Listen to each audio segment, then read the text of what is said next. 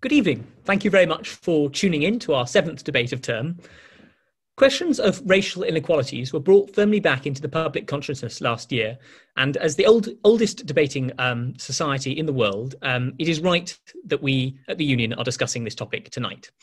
A collaborative enterprise with Cambridge's African and Caribbean Society, this debate will add, look to add nuance and sensitivity to a conversation that is all too often reduced to a binary discussion. It will recognise the troubling reality of racism in the 21st century, but it will also seek to probe more deeply um, into the diverse opinions that exist over how is best to combat it. Do we have a duty to be activists? Is it deplorable to remain unvocal? Or do these expectations hinder the cause? These are the questions we will be discussing with our motion tonight. This House believes silence is complicity. On this call, to discuss the issue, we have four eminent guest speakers and two student speakers from the African and Caribbean Society. There's been much engagement with this event on social media, so I hope plenty of you will get involved in the audience by sending in questions or points of information in response to the speeches you hear tonight. You can do this by following the link in the description below, as always. Uh, now, without further ado, I will introduce our first speaker for the proposition. Um, our first speaker is Joshua Vasarami. Joshua is an artist, writer, and political activist, and he has played a central role in both the Occupy movement and Black Lives Matter protests. His most recent book, How it, to Change It, was published by Penguin last year and offers a guide for political activism in the 21st century. Joshua, the floor is yours. Thank you very much, Freddie. And it's Joshua Ver- Virasami for, for anybody for future reference.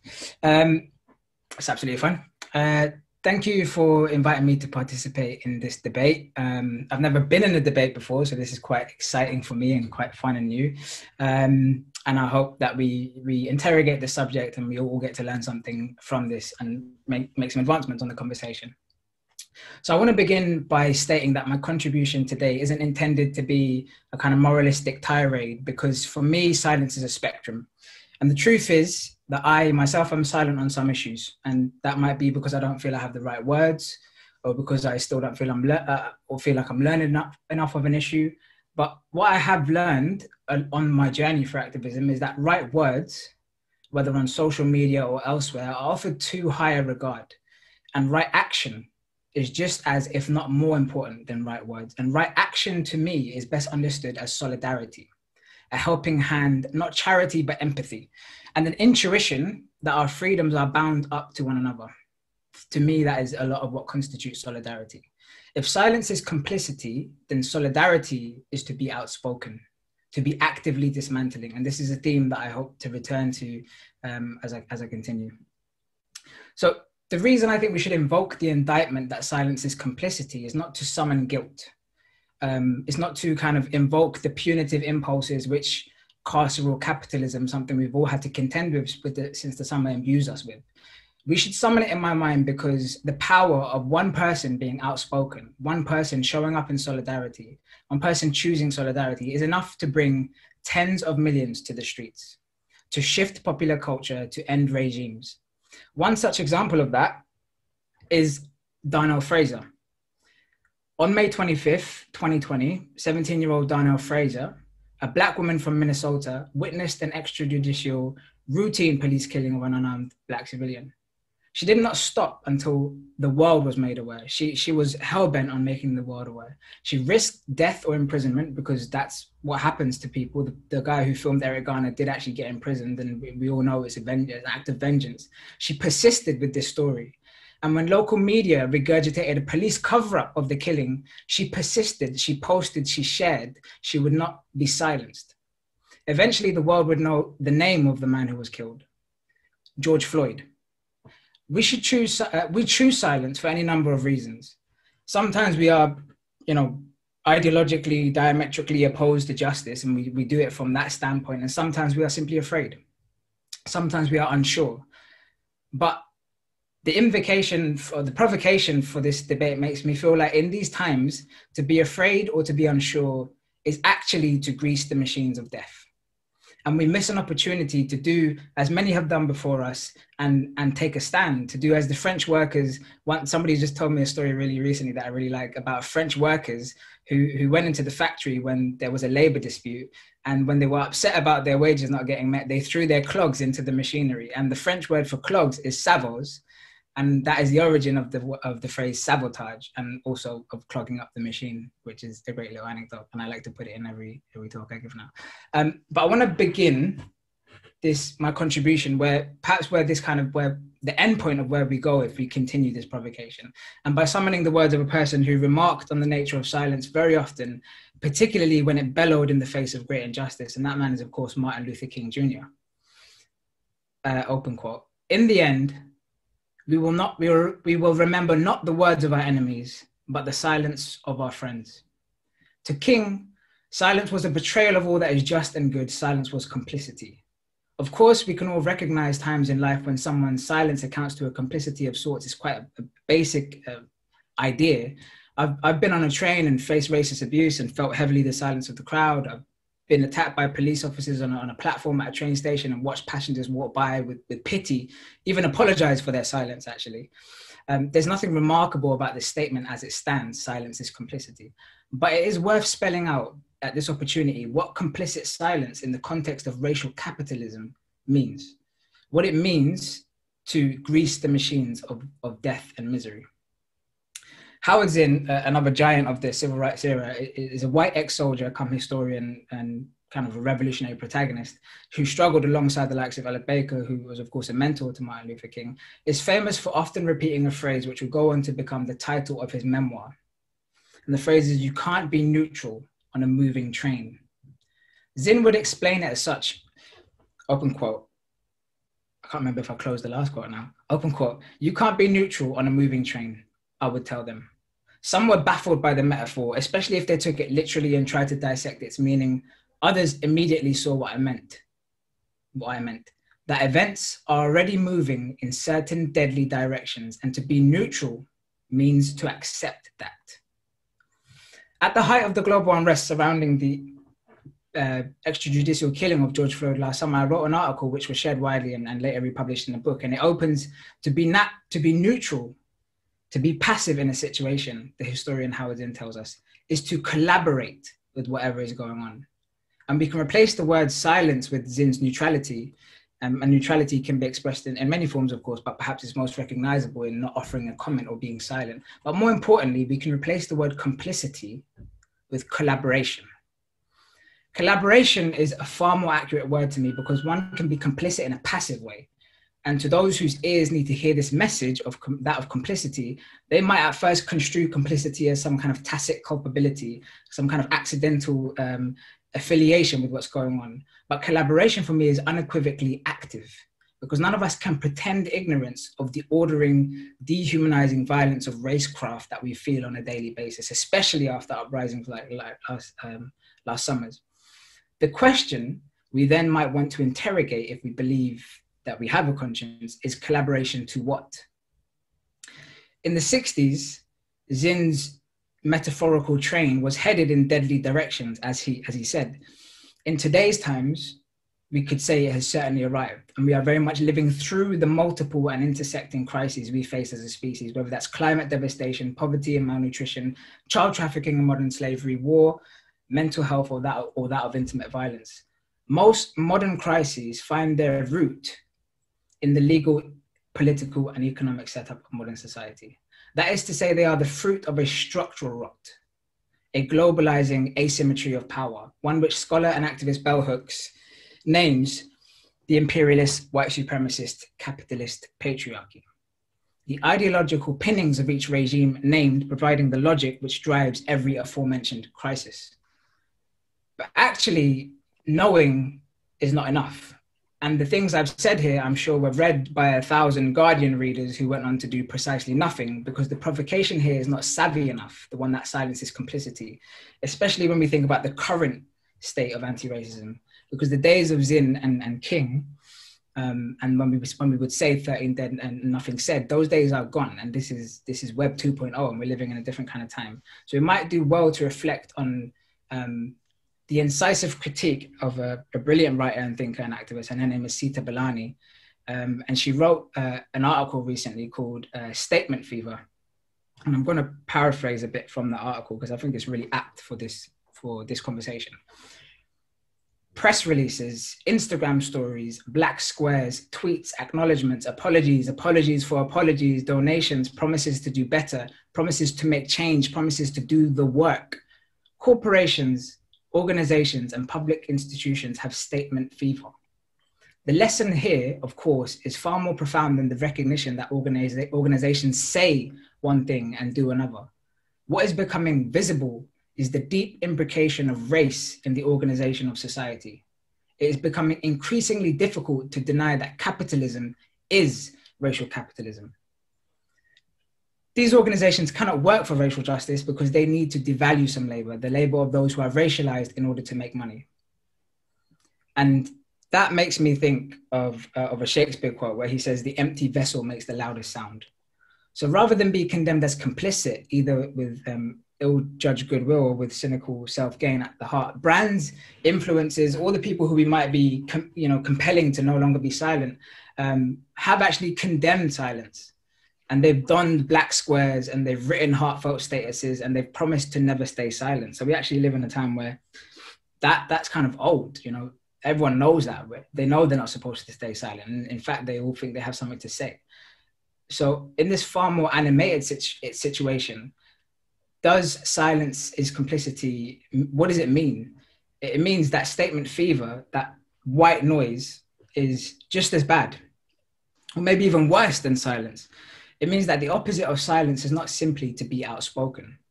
It means that to break the collaboration, we need to do more than just simply be outspoken. We need to do, as um, scholar and activist and, and longtime revolutionary thinker and an incredible writer, Robin D.G. Kelley, recently disclosed he does. He says, We need to love, study, and struggle. To me, this means the following love as in let our daily practice with one another be one of radical rehumanizing in the face of all this dehumanizing that I've spoken about, of understanding, of generosity to ourselves as well as to others, of gentleness with people and planet, of spiritual growth, as Bell Hooks speak about when she speaks about a return to love as the revolutionary dream.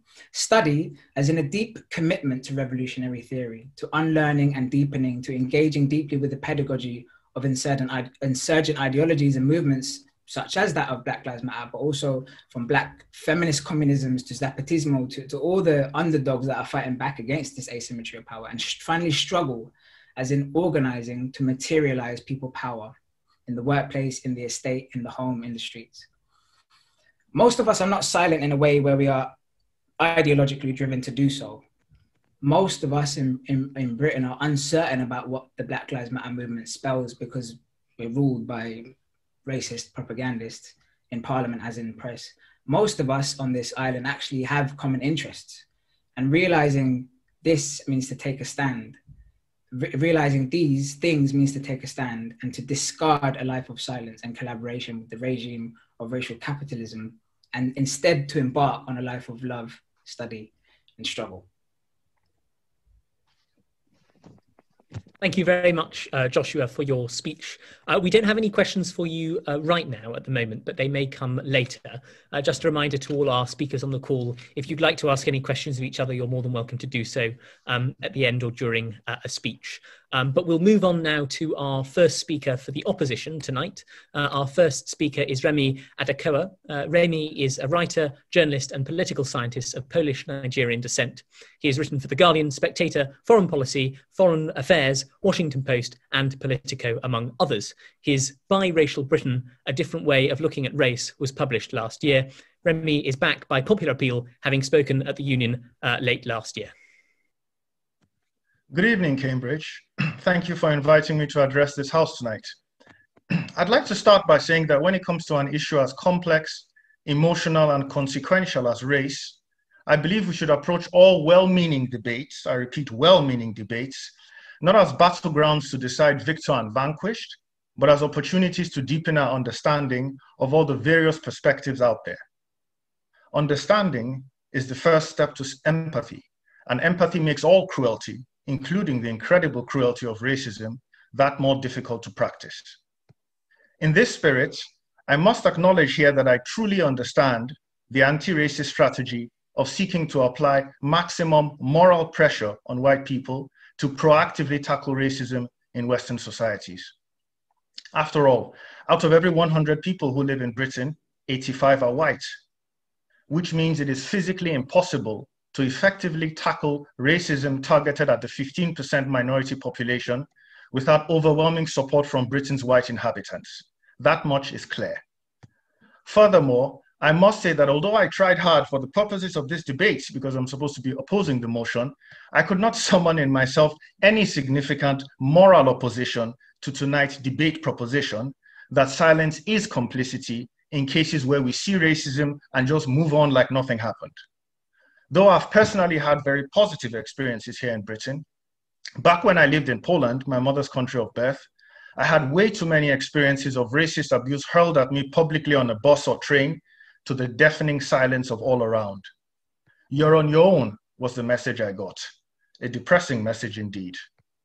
And so I'll focus tonight not on the moral value of this House's proposition, but on some of the practical consequences it is fostering in the particular time, place, and context we live in. As a consequentialist, I'm way more focused on actual outcomes than stated intentions. In today's world, where public debate is increasingly driven by social media, I think one unhelpful consequence of insisting silence is complicity is the encouragement of an excessive amount of white virtue signaling that can often seem more concerned with being seen as anti racist than with actually tackling racism's real life consequences. During the protest following George Floyd's killing last summer, a white friend of mine who works in the PR department of a company told me how his white boss would remind him every morning to make sure you tweet something supporting BLM today, because that's what our woke young clients want to see. However, when my friend asked his boss whether their firm would be looking to increase the tiny number of senior level employees of color it had, he had a lengthy speech about how complicated that would be. Till today, nothing has changed on this front in that firm, yet it remains vocally anti racist on its social media accounts. The emphasis on what is said is so strong these days you can cover up not doing much by saying a lot. But words can be as useless as silence if they are not doing anything to actually better reality. It would be fair for me to explain at this point where exactly I think there should be more doing and less talking. In my view, 21st century racism is the primordial manifestation of a global class system. I think Marx was correct in his core argument that it is the material which determines the ideological, not the other way around. The world's unspoken, yet highly consequential racial hierarchy faithfully reflects its economic hierarchy. The key fact being that in collective terms, the white racial group remains significantly wealthier than other racial groups. The GDP of Africa's 54 nations put together is smaller than the GDP of Britain. To put this in perspective, Africa is home to 1.3 billion people and 90% of the world's black population, 90%. The proposers of tonight's motion could argue here that these are precisely the kind of things we need to be loudly discussing, namely, how did this incredible wealth gap come about? Yes, it is definitely important people learn that the current economic status quo was arrived at brutally and unjustly. But no matter how many times we recall the history of slavery colonialism, and Western imperialism, this won't change the material realities on the ground. Moral arguments won't reduce poverty levels in Africa or South Asia, nor create wealth there. They won't eliminate the wealth and resultant power gap that is the most influential factor shaping interracial dynamics today. This gap is acutely reflected in our local British context as well. While the median white British family is worth 282,000 pounds. The median Caribbean family is worth 89,000 pounds, whereas the median Black African family is worth just 24,000 pounds. The average white British family thus owns three times the wealth of the average Caribbean family and 12 times the wealth of the average Black African family. This material gap is not conducive to balanced race relations. It makes too many black and brown destinies dependent on white action and white goodwill. It creates a reality in which white Westerners regularly observe on their TV screens large numbers of black and brown skinned people risking their lives to cross the Mediterranean Sea, desperate to get into Europe. This breeds a sadly all too human contempt and sense of superiority among many white Westerners who may not say this out loud, but who both consciously and subconsciously see this as proof their societies are clearly better than others. The sad fact is that posting anti racist messages won't change these material realities. I'm not saying words don't matter, they do. I'm not saying moral arguments don't matter, they do. History matters too. But it is important we realize that talking about racism is at best just the start of a beginning. Racism thrives where the capacity to dominate exists. That is why it is the prejudices of those more powerful than us that we fear most. The key to eliminating racism on a global scale lies not in getting as many white people as possible to condemn it, but in eliminating the capacity of white people to dominate other groups in the first place. That way, ending racism stops being a choice. White people get to decide whether to make or not. It becomes a reality they have no choice but to accept. This might seem a very long term solution, but it is the only real solution. Otherwise, we'll spend the next few centuries trying to cajole white people into not being racist. So, to all the well meaning white folk out there, and I know there are many of you, if you really want to fight racism, please focus your energies on trying to figure out how to close that racial wealth gap, on how to eliminate your capacity to dominate. Then you won't have to deal with the temptation to dominate.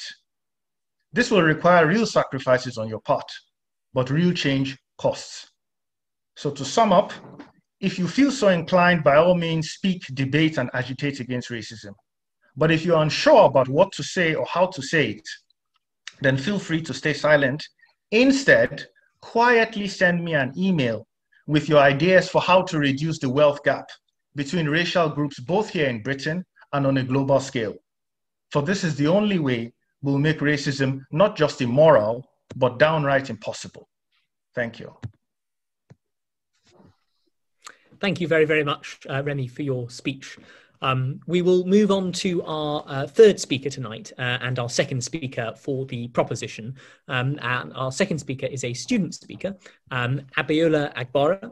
Abiola is a student of human, social, and political sciences at Lucy Cavendish College, um, as well as an academic school representative in the Cambridge Student Union. Uh, the floor is yours. Thank you very much. Um, I would firstly like to express my gratitude for being given the opportunity to speak here at the Cambridge Union, where so many intellectuals have and will continue to speak after me in a union which was founded on the invaluable virtue of the freedom of speech. Now, on this notion of the virtue of speech, humankind has been bespoke the power of a mind, which is the faculty for all conscious consciousness and thought, and expression is the medium by which we are able to release these ideas into the world. Speech itself is a double edged sword, and it commands an authority which brings down walls, builds up nations, and changes the hearts of many. As Frantz Fanon perfectly puts it, the living expression of the nation is the collective consciousness in motion of the entire people. Now, whilst the presence of speech holds power, its absence is ever more deafening.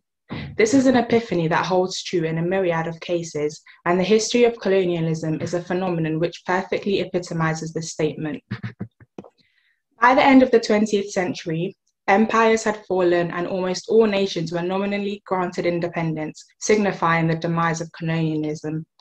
This, of course, was merely in theory. Colonial presence did not confine its impact strictly to the time period in which it formally manifested itself, but has rather left the scars of its political, economic, and epistemic legacy, which are all deeply entrenched. Today, we are left with the systematic subjugation of those who don't fit into the criteria of the white supremacist agenda. We face neocolonialism through political turmoil that troubles and debilitates Africa and the rest of the global south. The perceived structures of political power in these regions are feeble and constantly under threat, with the instability of governmental policy, the rise of insurgency and militant non state actors, the toppling of governments, and implementation of puppet tyrants, all of which cannot be delinked from Western interference and agenda. Economically, Africa in particular has been constantly plundered and looted of its wealth and resources for the sake of building up the rest of the world when it's back. It has been operating under a smokescreen, by which in reality it has been underdeveloped, and the conditions engineered throughout colonialism have instituted the dependency of the continent and its people in a system of the Western global order.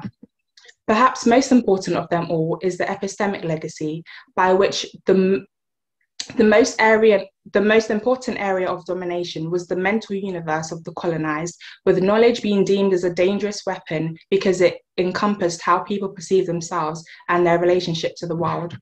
Colonialism and Western mastery served to silence knowledge, and the psyche of the colonized was a workshop by which the notions of an inferiority complex, degeneracy, and human- inhumanity was embedded.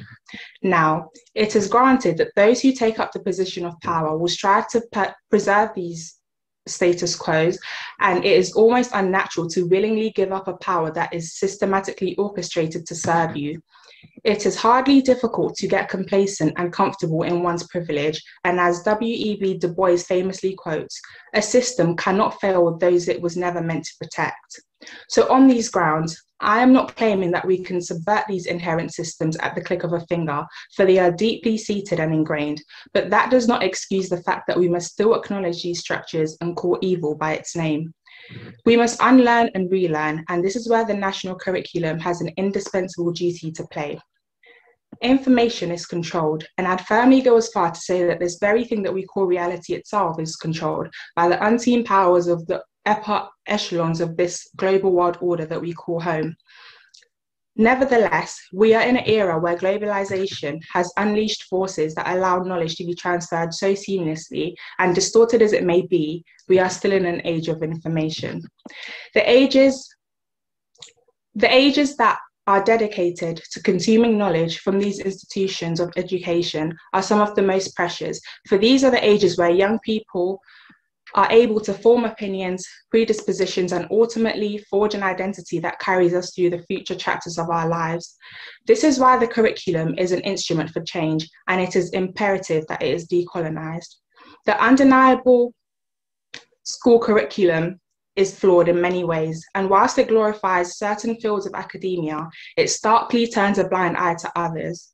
Why is it that we are indoctrinated to celebrate the history of state sponsored atrocities, mass genocides, and global attempts at self destruction through wars that have been instigated by the West?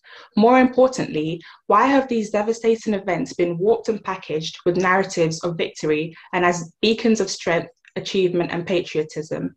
If the West is to celebrate such historic moments that it deems as a source of pride, then it must accept and proclaim and speak on its history in all of its totality.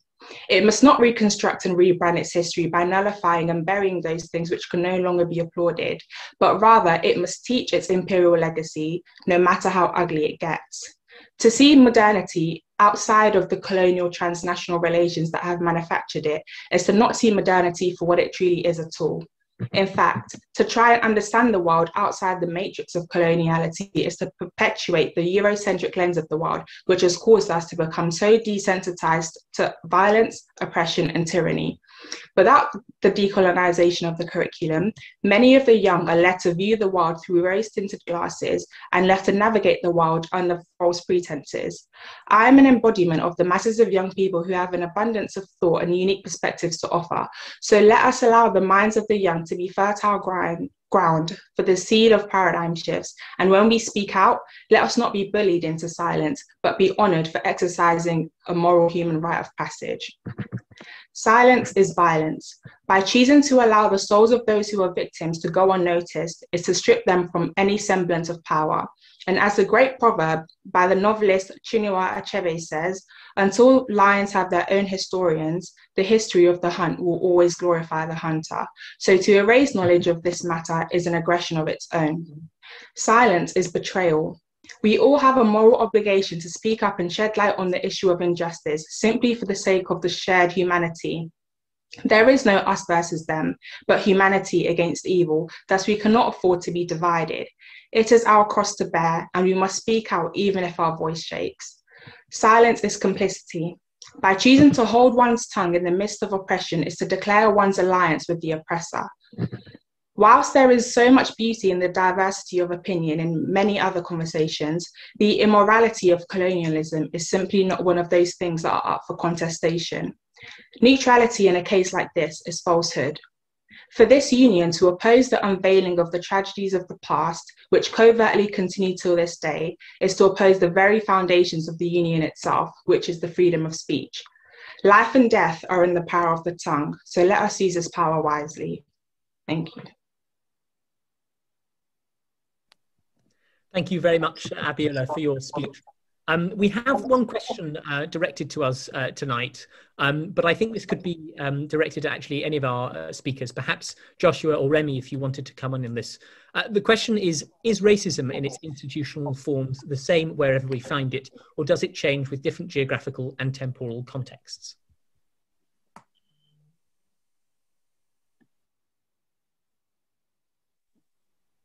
Uh, you might need to unmute Remi. I think I think clearly it changes. So I understand from the question when uh, they say racism, they're talking about white racism. So of course it's a little bit different everywhere. I think it's a little bit different in Brazil. It's a little bit different in Britain. It's a little bit different in Russia. It's a little bit different in Poland or Ukraine. Uh, so there's a, various sort of levels of uh, intensity of it. So you know, just to answer that question, sort of to sum up, I think it does vary. It does vary depending on the context. Depending, you know, I'm very much into looking at sort of you know the power dynamics between groups. And, uh, and a lot of this, I believe, is determined by the socioeconomic situation of groups um, collectively. And so I think, you know, the more sort of power the dominant group has, the more you will see of that kind of racism, the more there'll be a temptation to sort of abuse that power and, and, and, and, treat people badly. So, for instance, in a place like Poland, where I live, where there's, I don't know, maybe 50,000 um, uh, black or brown skinned people in the whole country of 38 million, uh, then obviously, you know, we essentially had no say there. And we're not really able to fight racism because, you know, there's so few of us that there was nothing really we could do about it. The UK is different. At least 15% of the population is black or brown skin. So there's a, there's a different demographic dynamic there. So a lot depends on the power dynamics between the groups.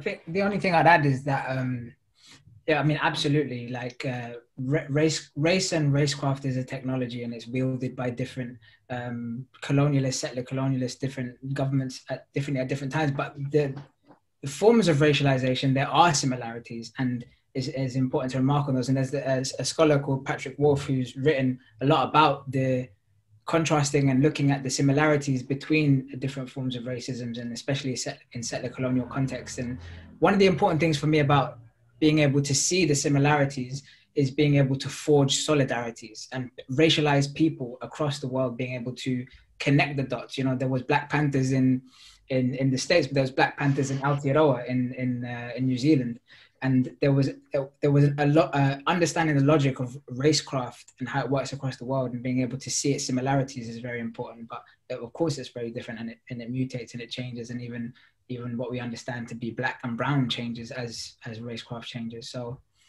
yeah good question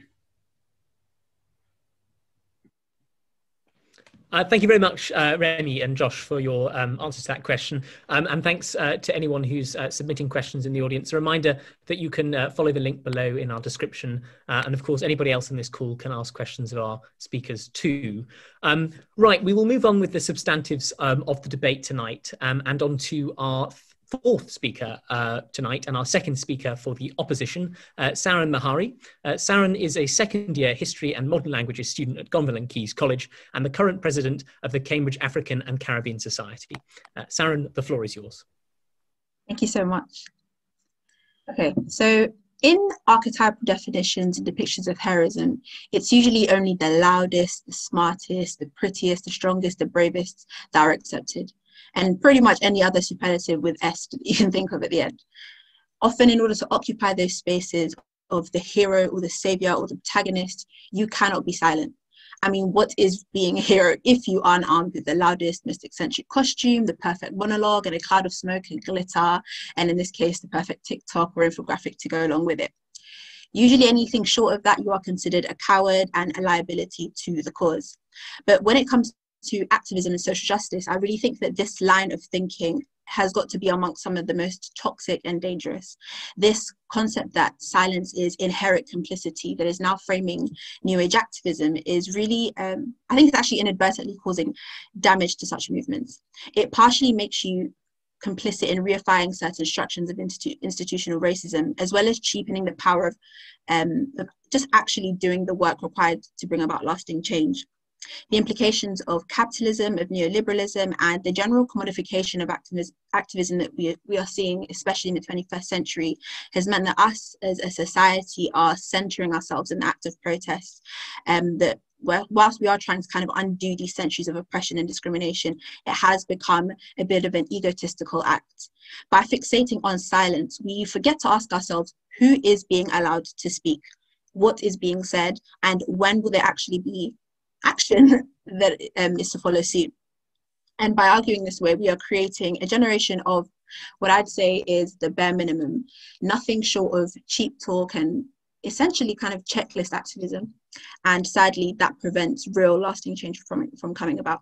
Now, something I kind of want to bring up um, just from hearing um, the kind of structure of the debate so far is this idea of neutrality that is being kind of um, reinforced by the um, by the proposition I think that it's really important to kind of not equate silence and neutrality. I think there's a way in which silence can be active and can, um, which I will kind of go into, but it, it, there is a way in which the overglorification of speech and, and kind of how Remi phrased it of white noise um, is just overall really we- weakening um, actions and it's also placing an equal responsibility on society when society doesn't operate in in an equal spectrum. There's people with privileges whether it be financial economic uh, economic um, industrial racial and therefore kind of applying this moral wand on everyone in the same way doesn't work. And it's really important that we kind of understand who we're giving who we are you know accusing of being complicit when they are silent and for what reason.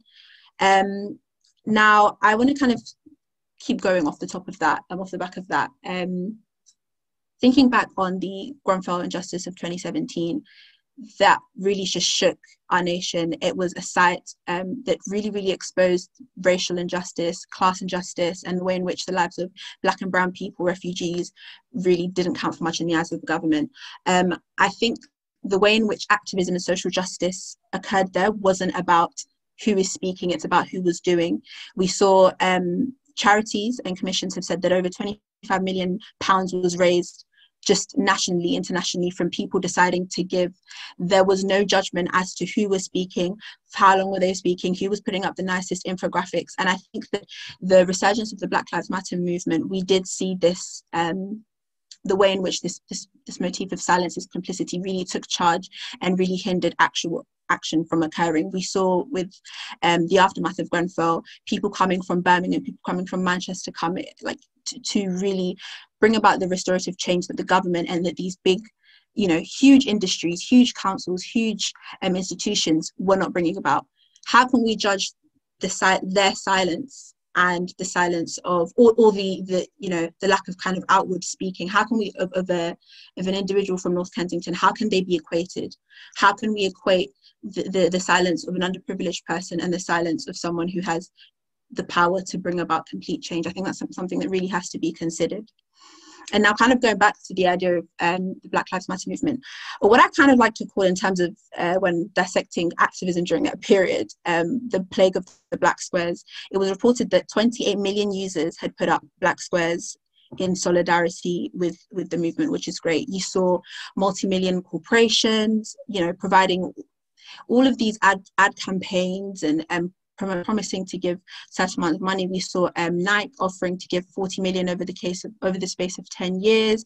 We saw um, just all these kind of institutions deciding to, to bring about change, but at what cost?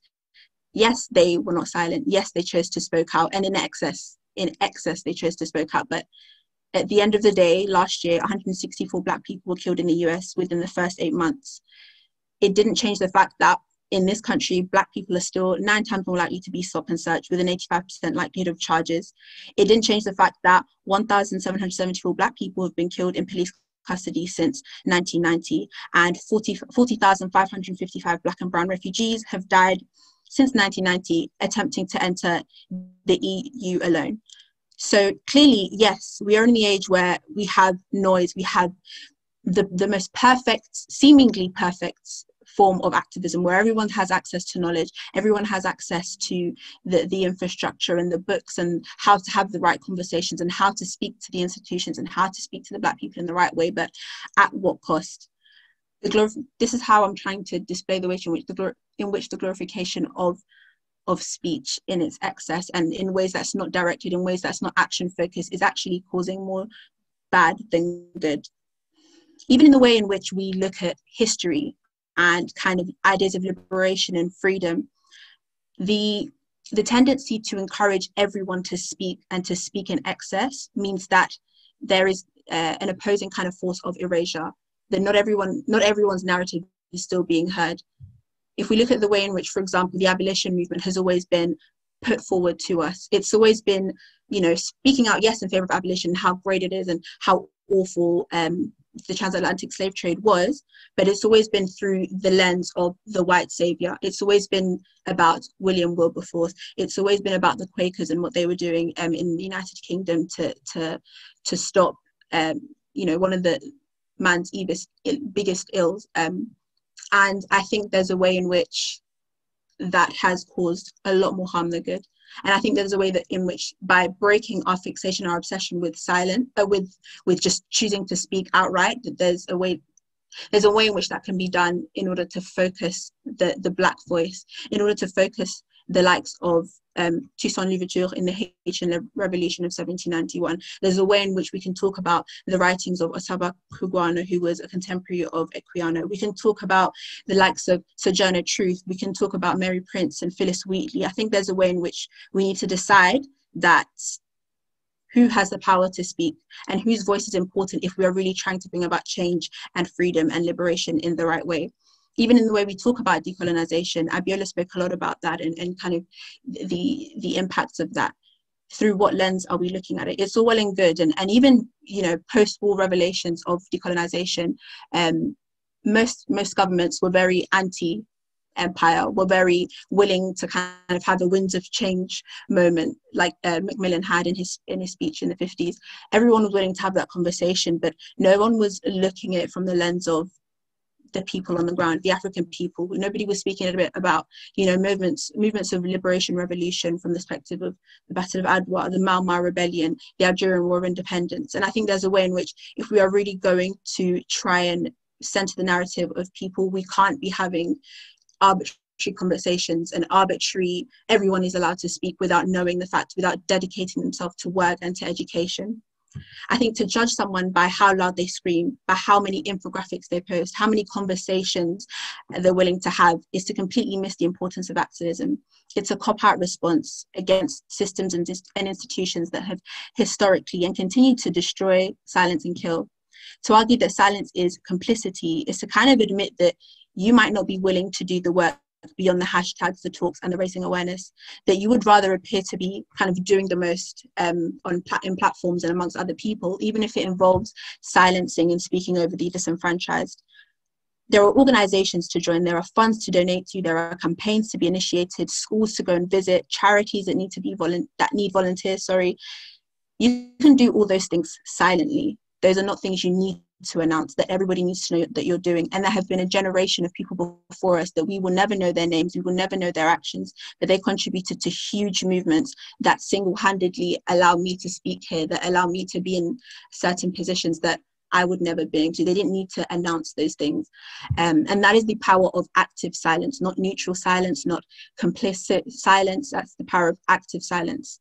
And so voting in favor of the proposition means that you uh, not necessarily directly, but there is a there is a complicit like there is a way in which you are erasing a generation of activism and social justice that is built upon actually walking the walk and not just talking the talk.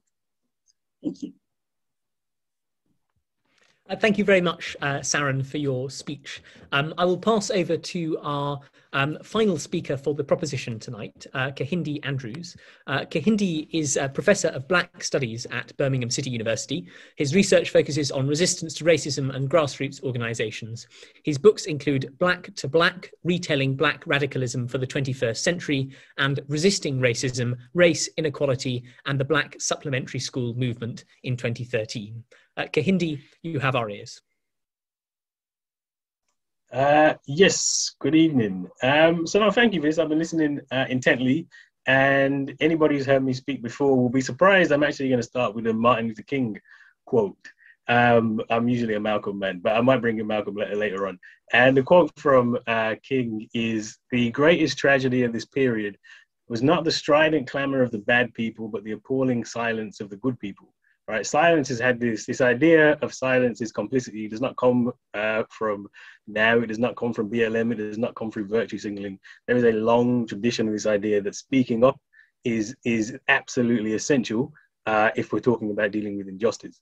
I would also just say that we've really have conflated the idea with being public and with being silent. And King makes that quote, he's not saying you need to go out and you don't even have uh, social media at that point. He's not saying you need to go out and be o- open and, and let everybody know what you're what you're doing. He's saying that actually to give money to a cause, to to do those things which we've given examples of in the background, that that's not silence. Actually, that's this public and silence are two very different things. I think we need to be very very clear about.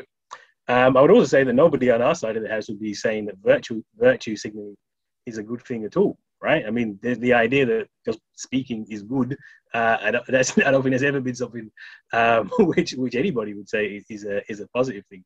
Uh, Donald Trump had um, had a very loud voice, um, and I, but I don't think we would say that was a was was a positive in the, in the idea of racism, um, and in how to combat racism at least. So I would. Having said that, you know, I, I did use a Martin Luther King quote, but I do have to be a little bit critical because I think within that quote we can also see some of the problems uh, with this idea, though, because actually what King outlines here is the the bad people and the good people, right? And this is a really kind of Christian morality tale that there are good people and there are bad people, and if only the good people would speak up, uh, the bad people would be constrained. And this is really the worst way to think about the problem of racism, which is not about good people and bad people.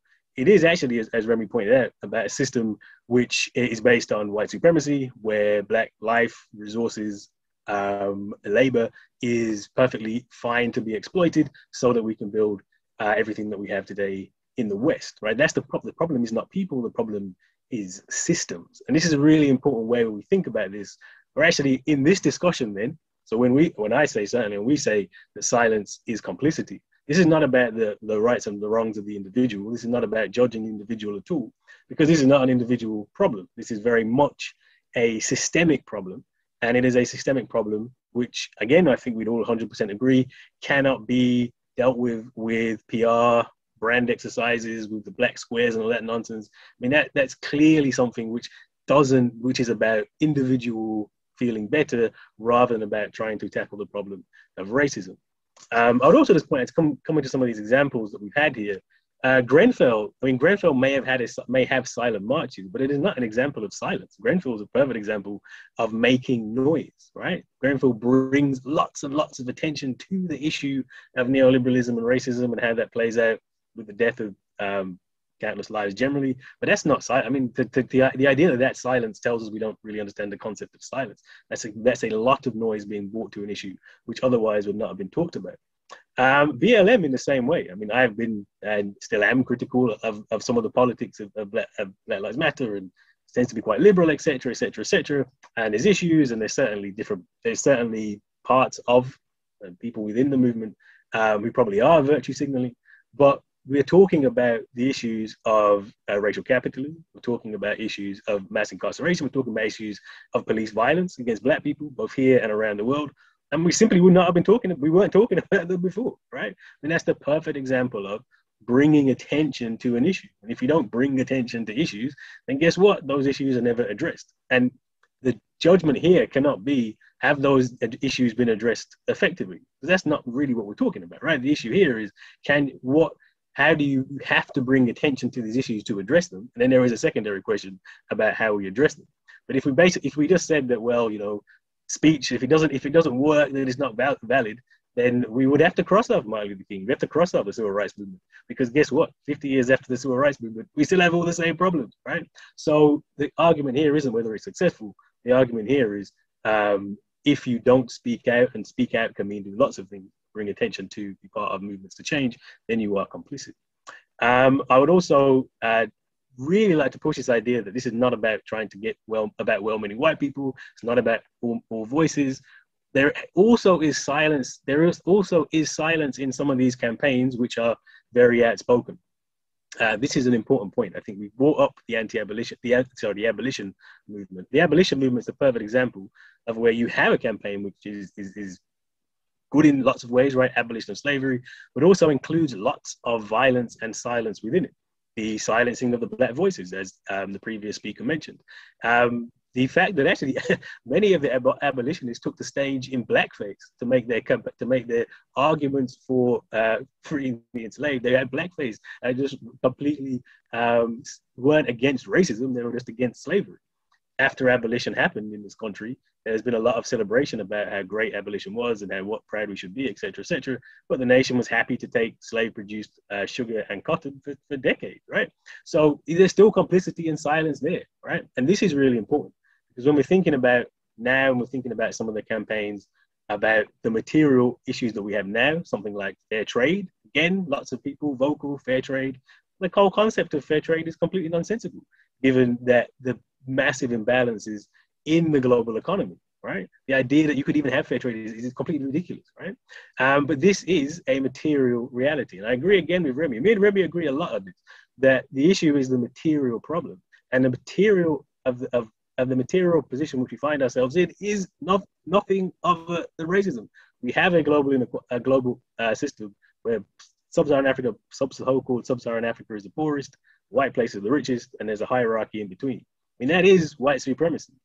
But, and this is where the silence issue comes into, we have uh, a framework of understanding that which never talks about race. The United Nations, which has development goals, which is supposed to be tasked with solving global poverty, never talks about the biggest issue, which is racism. And you can't deal with that by being silent. There's no way to deal with that, with that, with that, with, with being silent. And on the issue of complicity, the simple, sad, unfortunate truth is that we are all complicit in this system. This isn't a historical thing which has just happened and been the case.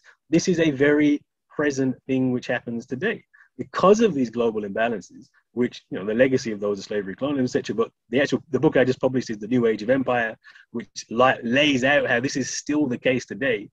Tens of millions, probably hundreds of millions of people live in conditions which are very similar to what their ancestors lived in hundred years ago because the global economy is still based on the idea that we can uh, extract resources, life, labor from black and brown people. And just to give you a statistic here, a child dies every 10 seconds because they have access, no, no proper access to food. Like that's every so in the hour that we've been speaking, 360 dead black and brown children, they're dead, they're gone, right? Because of the wealth which we have extracted from them. You are complicit. This is I am complicit. And if we don't ex- understand our complicity, that we do actually genuinely have blood on our hands. We can only have this discussion over these wonderful uh, Zoom and these, whether you're on a smartphone or a laptop, because of those children, then we are never going to be able to solve the problem. This is why uh, silence is complicity. And I agree 100% that just talking and just saying this and just knowing this is not enough.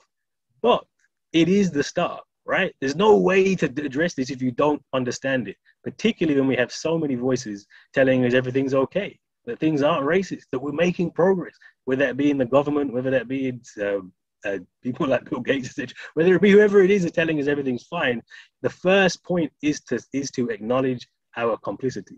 And we should be uncomfortable. All of us, not just white people, all of us who are here should be uncomfortable from the fact that our prosperity relies on the death of children. And once we accept that, that is the first point to saying, what do we do about it? There is no way to deal with any of these problems if we are silent, but we are all complicit. Uh, thank you very, very much, uh, Kehinde, for your speech. Uh, we have one more question, uh, which uh, could be directed to any of our uh, speakers tonight, but Kehinde, perhaps you might want to come in on this one. Um, it's an anonymous question, Um, and um, this person has said it's been fascinating to hear about how much Marx and Marxism has anchored the responses of, of, of many speakers tonight. Um, there have been a few appeals to Fanon and Du Bois. The most important um, intellectual of the 20th century. And I'd recommend that everybody listens to The Ballot or The Bullet, because that speech will explain what's going on today better than anything I've heard um, since or, or before.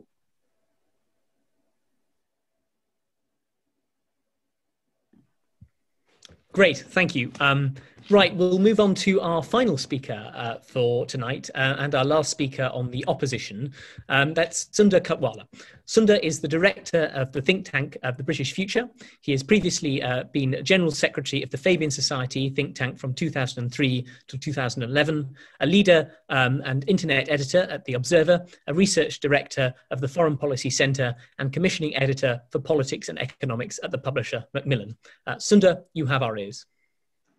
Thanks. Thank you for the invitation to come and talk about racism in Cambridge tonight. Um, it's been a virtual debate, and so we haven't been able to be in the debating chamber. And I think um, while that's a shame, I think it's also a, a good thing that we've had, um, you know, a conversation here with a lot of nuance. And this is not an adversarial debate. There are agreements and disagreements uh, between people here who are committed to anti-racism and have a range of different views with some common ground i hope as well about how to pursue how to pursue that cause. So um, i think that's been a, a, good feature of of tonight's debate.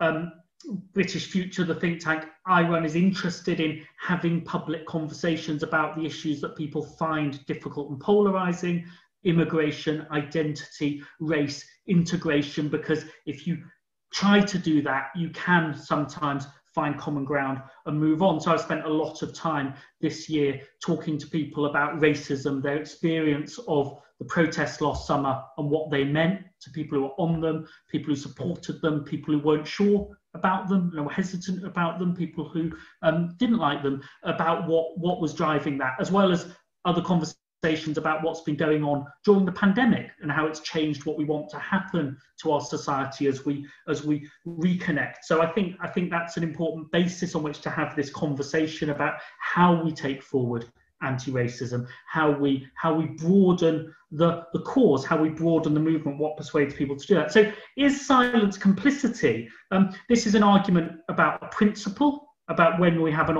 obligation and when it might be good if we act, but we don't have an obligation. But this is also a conversation about the strategy, the message, the slogans of anti-racism, about what it is that encourages and activates people to speak up and to engage or to act in ways that matter. On the principle, um, I think um, sometimes yes, but mostly no, in terms of is silence complicity. Yes, when you have approximate, immediate responsibility. If you are there um, and there is a hate crime in front of you, bystanders should be upstanders. And to fail to stand up in that case is a failure. It's an ethical failure. If you know, you know, in the most serious crimes, you know, the uh, two of the six people who murdered Stephen Lawrence were finally convicted many years ago, but other people were silent in a way that made them complicit for that crime and in other ways as well. Um, um, we saw this week the the holiday park firm Pontins. They had a you know they had a list with traveller names and Irish names on it, and your job was to refuse the booking and to find an excuse to refuse the booking because of somebody's surname. If you participated in the system and you didn't challenge it, then you were participating, you were active. So I think in these cases where you have a direct obligation, I think it is true that to be silent or to not act is to fail. But as a more general principle about the state of our society, I think it's good to speak up. Voice can matter if it's useful, but I, am skeptical of the idea that we that we make that work by insisting on an obligation because silence um, is silence complicity. Silence, Josh said, is a spectrum, um, and I think that's right. Silence is silence, and silence can mean a great many different things. Silence might be um, cowardly or craven and frightened to speak when it knows it should, but silence might be useful. Silence might be solemn. It might be listening. It might be thinking and contemplating. It might be a prelude to action that we want to see, a prelude to speak. Or silence might be um, distracted, too busy. aware that something is going on in our peripheral division, uh, division but not yet able to pay enough time. We're all silent about things we should probably speak more about. I don't say a vast amount, maybe as I should, about climate change or about uh, you know wars in different parts of the world or protests that are going on because I don't yet know about them. And it's in a way there's an potential exhaustion in the level of moral expectation we have to engage everywhere with everything and speak. So I think there are dangers in ca- characterizing silence as problematic, even if we want people to speak up and we want more people to speak up. So what we need to do above all, I think, is try and have conversation with those who are hesitant. We'll have to get the silent to speak to us about which form of silence it is that they are currently in so that we can engage with. So we want to have a conversation with people who are already marching, holding placards, coming out, you know, being mournful, being active, being engaged. We also want to have a conversation with people who have seen that happening and haven't yet decided whether to join in to find out what it is that might that might make them appeal. And I think central to this debate about the slogan or the message or the argument silence is complicity is will we make progress if we increase people's discomfort about race and racism and injustice? And I think Kehinde has just given us a powerful case actually of saying yes, yes, we might do that. That might be a really important way to do it. But on the whole, I think that will fail as often as it works. And I think the discomfort in talking about race is one of the big reasons that we have an avoidance about race. And so I think what we should be doing in this society is trying to decrease the discomfort and increase the confidence of talking about race in a society that hasn't got that confidence yet I think could find it. About one in 20 people um, were not white, black, Asian, mixed race. Um, you know, when I was um, at university and leaving university, it's one in six now. So an increasingly diverse society such as ours is going to have to get more confident about a topic that people find difficult because it's going to be the strategy of avoidance isn't going to work. It's going to be unavoidable that we talk more about race. But I think we need to increase the confidence, not increase the discomfort in the ways that people do it. And I see very, very few um, institutions in our society that really have a confidence in engaging with race, especially if we go to the citadels of economic power, cultural power, political power, media power. I see a level of discomfort in talking about race. And dis- more discomfort is probably going to be part of this because your graduate intake is going to be a lot more ethnically diverse than your boardroom. It will be a quarter of your graduate intake and one in 16 people, if we're lucky, in the boardroom. And so you're going to have to have a conversation about how fast that's going to change or whether it's going to change. So there's going to be more discomfort, but I think we should be trying to decrease the sense of discomfort. What I thought we saw with the black squares, which were mentioned earlier, is we actually saw silence of solidarity. And that was, you know, it was very well intended. And I, I didn't like it. I think other people have said that they weren't very convinced. This was a very performative silence. I felt. And symbolism can be really important. Taking a knee can be important. Other forms of symbolism, a minute silence, can be important. But this kind of performance of silence felt very paternalistic. It felt very othering and it felt very distant to me. It seemed to say, We will be silent because your cause matters. But we don't know you yet. We're so sorry we haven't got to know you. But we don't, and because we will never really quite understand our way of showing solidarity will be to say we have nothing to say and we will make a great show and a great presence of having nothing to say. So people see us rending our garments at uh, being silent. And the institutions that did that, and you know, no doubt feeling that this was a powerful way to have solidarity, and it may have done some good things, it may have brought some money in, it may have funded some activities, they were perceiving of themselves really as very, very white and very distant and very much saying, you know, it's uh, this is our product of solidarity without diversity. Because we don't know you, because you're not here in the room, then we will be loudly silent. And we hope people will hear you speak instead. And we need to reduce that social distance. We need those organisations to do the work so that they have things to say. But that, that moment was also a product, actually, of asking people to stay silent and to be silent.